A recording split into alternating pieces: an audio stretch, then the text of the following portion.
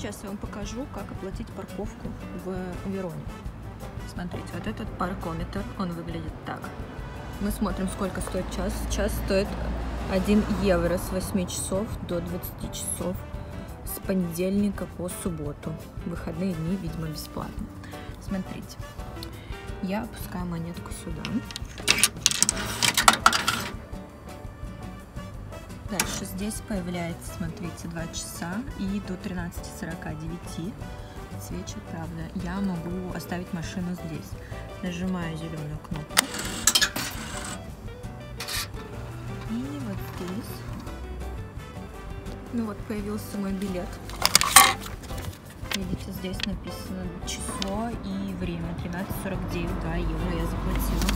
Я иду в машину. Я оставляю этот билет вот здесь, чтобы человек, который проверяет, он мог увидеть.